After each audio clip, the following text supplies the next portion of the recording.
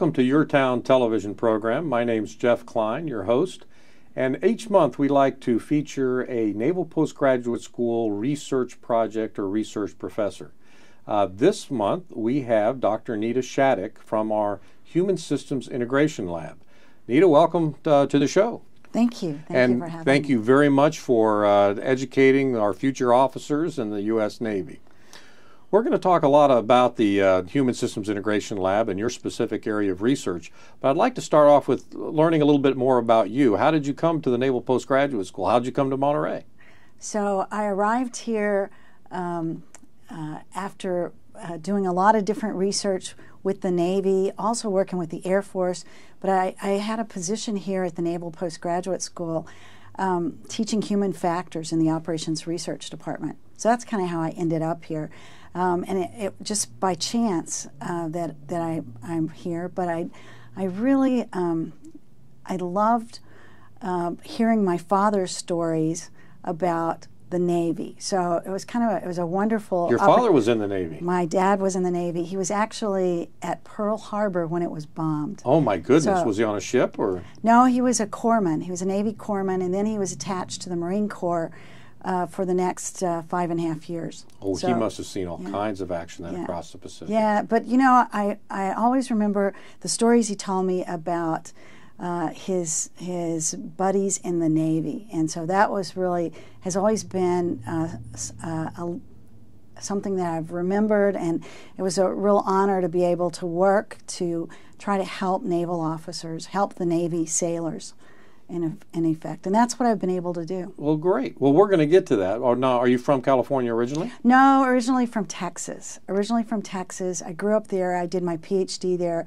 University of Texas, And what what did you do your doctorate in? in behavioral science. Oh, that's dangerous. Yes. So, so uh, uh, but uh, you know, I, I was always interested. Uh, I go off to the library. I was supposed to be uh, reading about cognitive development and these kinds of things, and I'd come back with with things about Navy divers and and uh, and their cognitive performance in cold environments, cold water, and things like that. So I kind of had there was this interest about these unique environments that the military exposes people to. So. So, but was your dissertation in this area, or No, it was actually on children on the effects of skipping breakfast on learning. wow? So that was my professor's. Uh, that was my major professor's interest, and and I would come back, as I said, with all these articles about Navy divers Navy in divers. Was cold like, water. "What does this have to do?" you're with not you're not missing you're missing the right. point. I was like, I know. And then, but then from there, I was able to. I started working for the Air Force. I had a postdoctoral fellowship and with the where Air did- Force in Texas or in Texas Okay. at Brooks Air Force Base. Sure. With a human centrifuge. So I was doing G-induced loss. So again, you got to twirl people around. I is that right? Take them for a whirl, for a spin. Oh, so we were looking at, um, at again, these dangerous environments that the military exposes people to. Right. They have to. Uh, so, so we were looking. So I did. My early work was in G-induced loss of consciousness. you mean at what point do people pass out when you twirl them around? Exactly? Is it all the same, or is it different based no, on people? No, there's so actually you can you can calculate it by looking at the distance between your heart and your eye. Is that so right? if you're a short short person with high blood pressure, maybe you know think about a smoker, a little fat cannonball. Yeah. That's the best uh, G tolerance that you could have. That So- explains a lot of fighter pilots in the 50s and 60s. There you go. Right. Exactly. Before they had all this protective stuff. But Well- yeah, I was able to, to be involved in that, and then from there, uh, I've you know I had a long career working in in aviation, and so I was in worked in.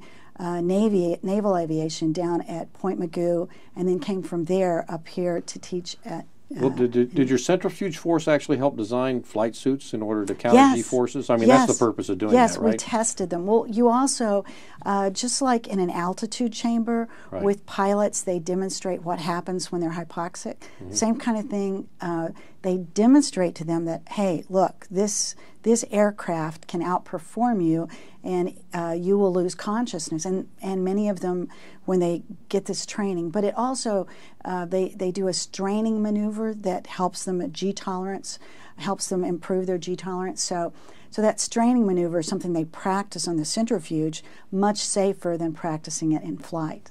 So you just said that you, you came to Naval Postgraduate School and you taught human factors inside the operations That's research right. department. That's right. Now, and, and you just described one of the important reasons why we teach human factors uh, to understand that effect in, in uh, heavy environments.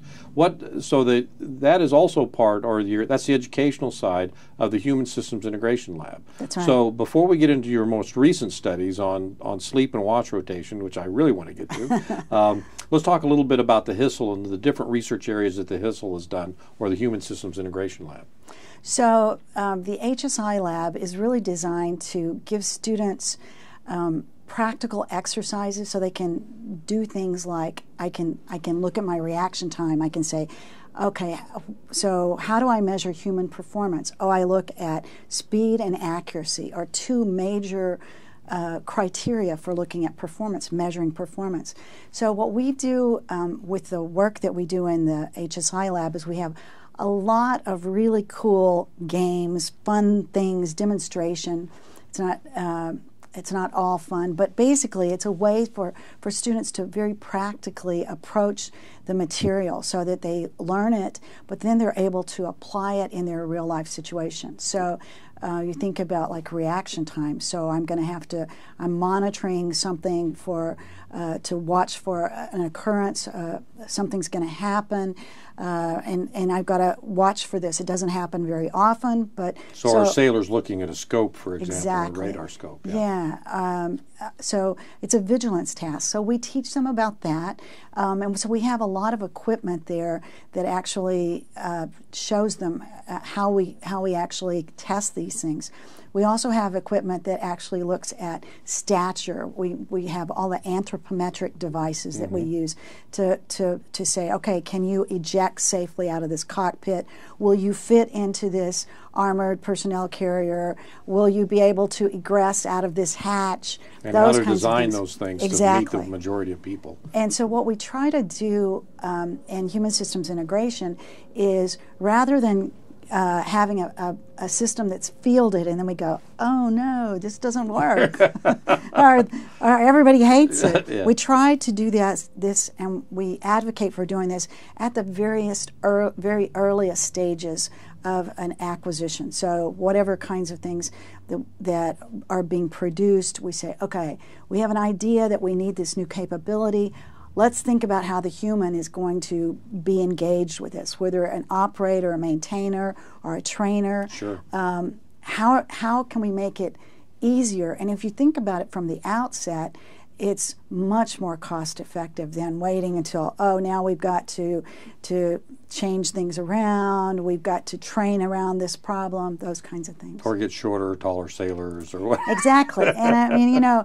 nasa has the uh, NASA is able to to you know basically put a call out and really select people. Although the two astronauts that I know at NPS, one's really tall and one's really short. so, so, they still meet it somehow. Yeah, exactly. well, um, I, there's other t- areas that I want to talk to you about on research if we have time. Okay. Uh, one of those is the research you've done in accidents investigations associated with humans. You can't get particulars on that, but you've looked at ship groundings, that sort of things with students.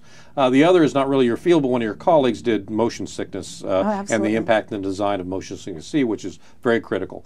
But uh, with our time, I want to focus now on uh, what you have had. I would have to say that of all the faculty members at the Naval Postgraduate School, uh, from an, a very informal and unscientific sample, you have had more headlines in your work than anybody else. There's been those of us who've been on magazines, there's been the published in the Wall Street Journal, but you have got the Navy Times headlines record on the research you've done for sleep and watch cycle. So tell us a little bit about that. And with that, we've got some toys here you're going to show us. So first, tell us about the research program and what the purpose okay. is.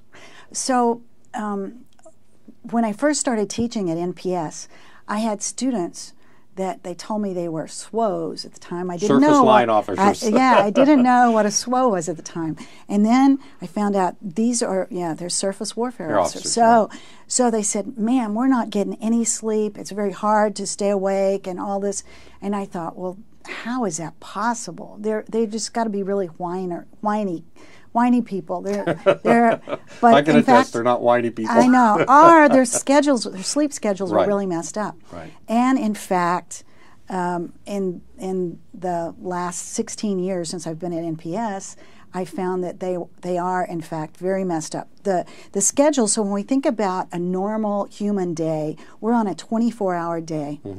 So you wake up Mm-hmm. That's about the same time. That's convenient because the Earth rotates. That's then. right, about the same. So, so, um, so, and our cycles are set by primarily by sunlight Mm-hmm. is how they're driven. That our circadian rhythm. But the Navy, in its infinite wisdom, decided that they would have submariners. They're not on a on a, they don't get exposed to sunlight, so let's put them on an 18-hour day. That's the equivalent of six hours of jet lag every day for the submarine community. Oh my. But the surface warfare community, not to be outdone, decided we'll put our people on a 15 hour day.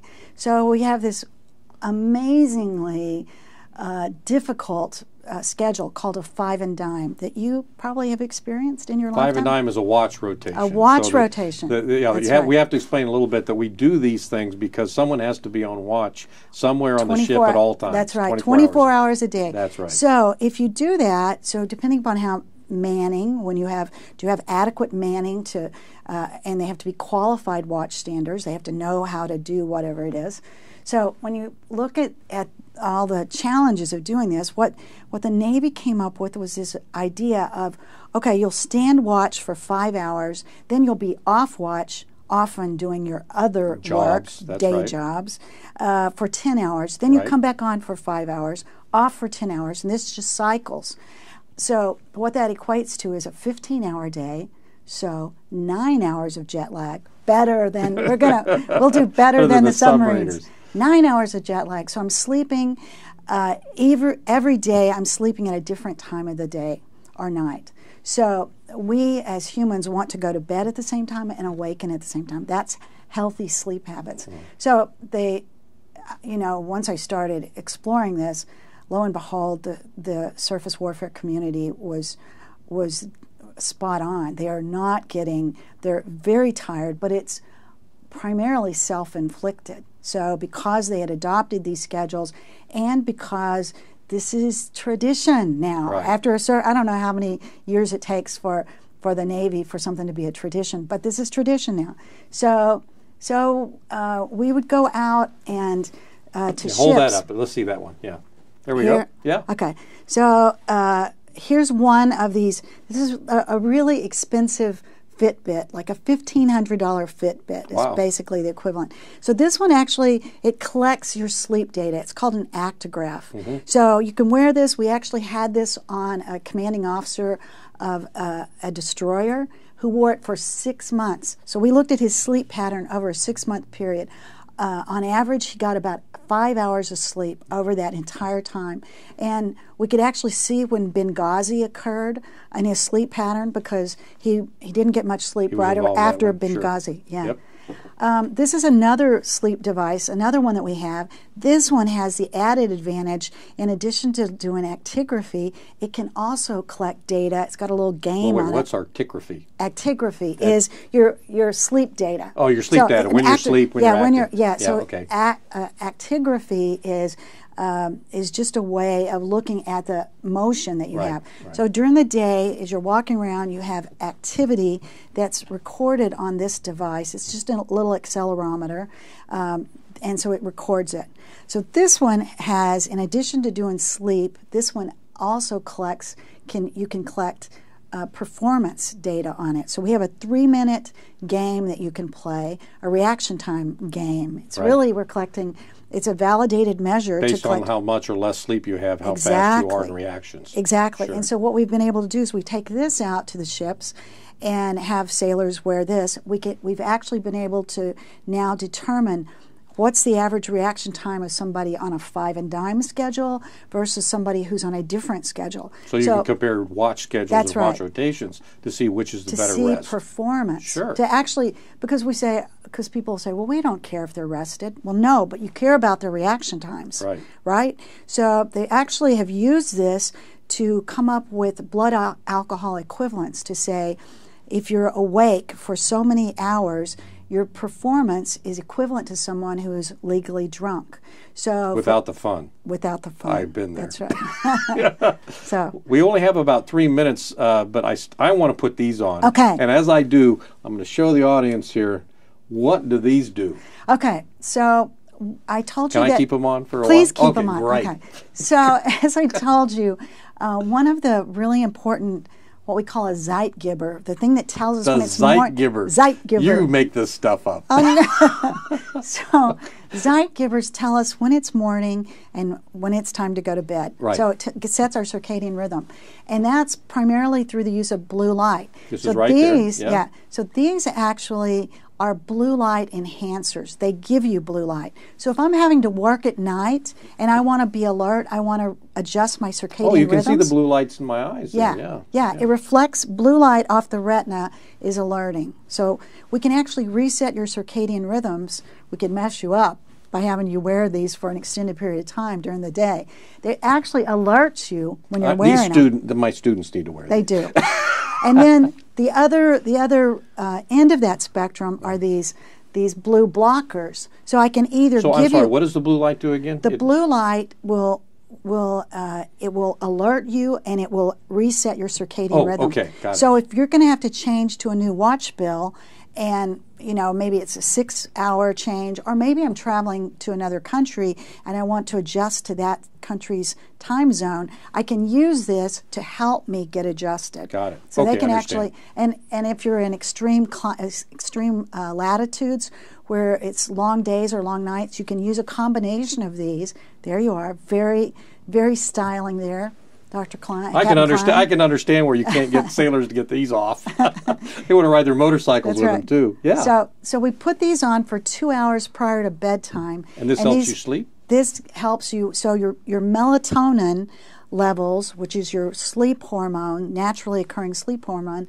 melatonin rises when you're at night uh, in, in dim light.